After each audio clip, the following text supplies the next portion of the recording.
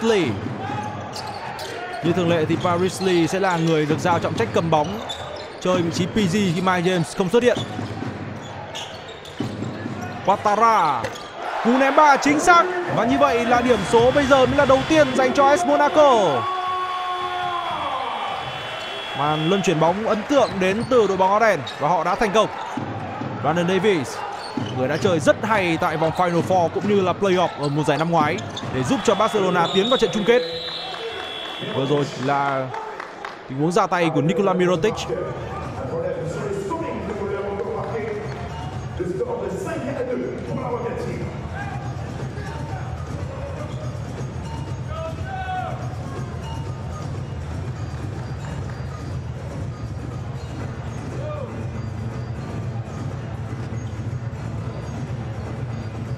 Trọng tài đang phải kiểm tra lại. Đồng hồ giây.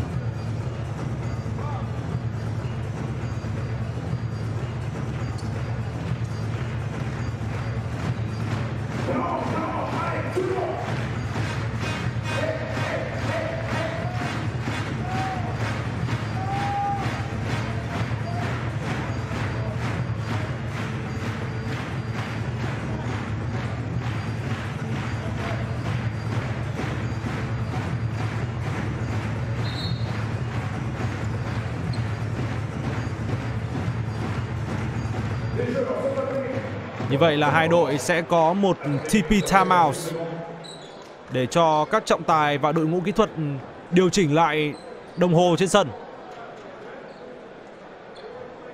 Đây là những lần timeout không được tính dành riêng cho các đội, mà đây là lần timeout sẽ để phục vụ cho trận đấu.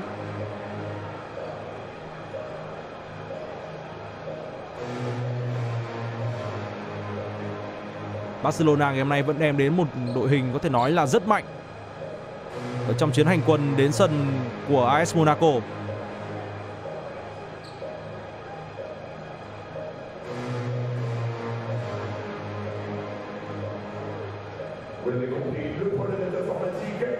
Ở trong trận đấu đầy khó khăn trước Olympiacos thì Barcelona đã nhờ vào sự tỏa sáng của ngôi sao Nikola Mirotic, người đã có được 22 điểm một chiến thắng phải trải qua hiệp phụ.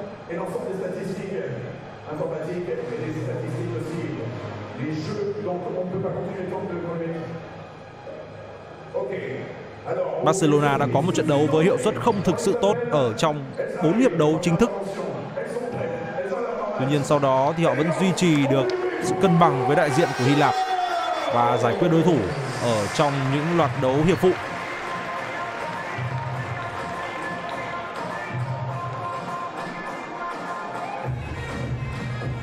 đúng là bóng rổ sau khi không còn ở trong tình trạng giãn cách và đóng cửa.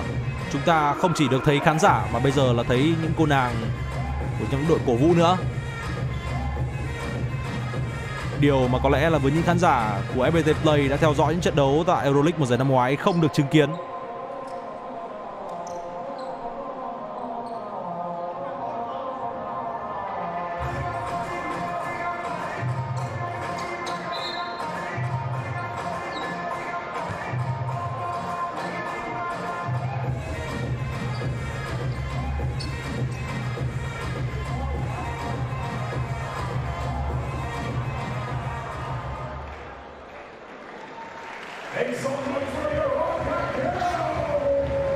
Có lẽ là những vấn đề đã được giải quyết xong. Chúng ta sẽ cùng trở lại với cuộc đối đầu giữa AS Monaco và Barcelona.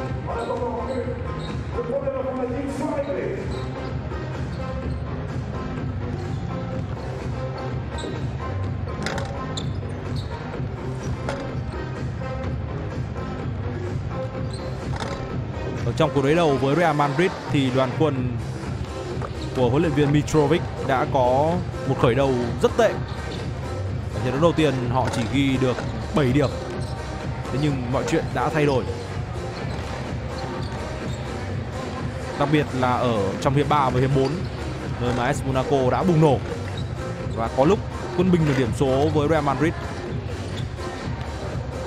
Ngày hôm nay thì Cesc Fabregas cũng đang xuất hiện tại cuộc đối đầu giữa AS Monaco và Barcelona. Đây là một cuộc đối đầu của bóng rổ thôi, nhưng lại có một mối liên hệ rất lớn với Cesc Fabregas. Khi đây đều là hai đội bóng đá mà anh đã từng góp áo. Cesc Fabregas đã trưởng thành từ Barcelona, sau đó thì cũng đã có quãng thời gian đỉnh cao tại đội bóng xứ Catalan. Và bây giờ thì anh là một thành viên của câu lạc bộ AS Monaco. Hai câu lạc bộ bóng rổ của AS Monaco và Barcelona cũng nằm trong tổ chức thể thao cùng với câu lạc bộ bóng đá nổi tiếng mà chúng ta đã biết.